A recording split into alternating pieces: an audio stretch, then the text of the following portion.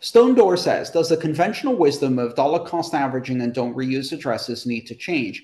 People with many small UTXOs seem screwed as fees increase. Um, Stone, so glad you asked that because this is a very, very critical issue that has gone unnoticed by many and is not being discussed. And uh, as you say, the conventional wisdom has misled a lot of people into making this mistake.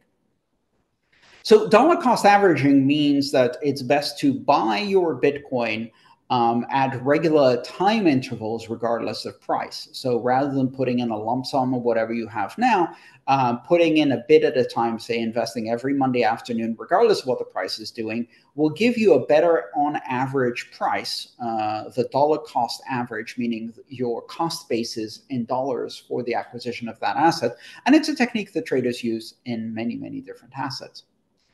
Um, not reusing addresses has more to do with um, privacy and security uh, than anything else, but often people combine these two things. The problem comes when people don't understand the next important step, which is just because you bought the Bitcoin every Monday doesn't mean you also withdraw it immediately. So the problem isn't combining DCA and don't reuse addresses. The problem is combining very small amounts DCA and uh, address reuse advice with my advice of not your keys, not your coins, don't leave money on exchanges. And instead, what you do is you buy every Monday and then withdraw every Monday. And honestly, it doesn't matter if you withdraw to the same address or not, um, because the problem of UTXOs exists whether they're in the same address or not. It doesn't really matter. Um, each withdrawal will be uh, at least one, possibly more, but hopefully just one uh, UTXO. And if you're withdrawing every money, the every Monday, the tiny amount that you just DCA'd, um, you're going to pay a fee for that withdrawal, but then you're also going to end up with a pretty small UTXO sitting in your address. Same address, different address, doesn't matter. You still have a small UTXO.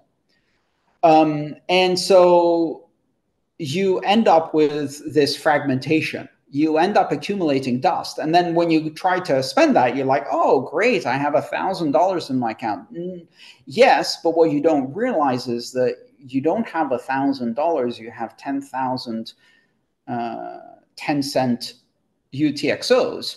And to spend 10,000 10 cent UTXOs, you need to make a transaction with 10,000 inputs. And that transaction is going to be a jumbo transaction, a whopper of a transaction. And the fees on that are going to be huge. And you're going to end up chewing up a significant percentage of your investment in paying for those fees. So how do you, we tweak this advice in a practical sense, right? Because that doesn't mean stop dollar cost averaging and it doesn't mean leave all your money on a on an exchange It's mean understanding the technical nuance and applying it correctly.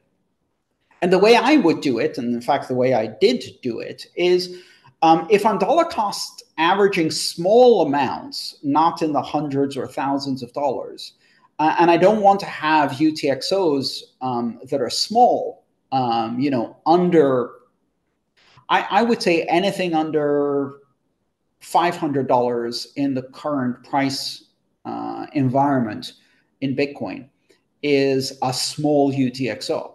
So if I don't want to have uh, UTXOs that small, um, what would I do? Well, I can dollar cost average every Monday, but only withdraw once the amount that I have on the exchange is at a, a level, the balance that I have is big enough. Then when I withdraw, that is sent to me as a single UTXO of the total amount that I've dollar cost average. Still dollar cost average. My cost basis is still the every Monday price on average, you know, averaged out over however many aver- uh, however many Mondays I've been doing this. So I've achieved the dollar cost average goal, which is to um, to smooth out uh, rapid uh, price fluctuations and volatility uh, and get a good cost in dollars on average for your Bitcoin. So I've achieved dollar cost averaging. And, and if I withdraw once my amount exceeds, my balance on the exchange exceeds know, 500 $1,000, something like that, uh, whatever the number is for you, uh, the number that you wouldn't cry if you saw it disappear. Um, but would also not create a UTXO that's too small um, and incur too large fees, well, then I withdraw. So you have to find that balance. What is the balance for you? Whether UTXO is not small enough to chew up everything in fees, and um, but it's not so big in balance terms that if the exchange gets hacked, you're going to be losing all your savings, right? Um, and so DCA and don't reuse addresses are still good advice. And and the not your keys, not your coins, don't leave money on exchanges is still good advice. But no advice is perfect for all circumstances. And just because you have advice doesn't mean you take the maximal position of each statement and then combine them all to create the maximally um, best scenario. That's that's not how life works, right? There's nuance here, and there's technical details you need to understand. So if you take DCA to the extreme, and you take um, don't leave money on the exchange to the extreme, and you take don't reuse addresses to the extreme, you end up with a very messy wallet with tiny UTXOs spread a lot of addresses and very high fees. Ethereum and the Internet of Money series. If you'd like to support my mission of bringing education about Bitcoin and open blockchains to as many people as possible under open free Creative Commons licenses, please consider subscribing to my channel and supporting me on patreon.com slash A-A-N-T-O-N-O-P. Thank you.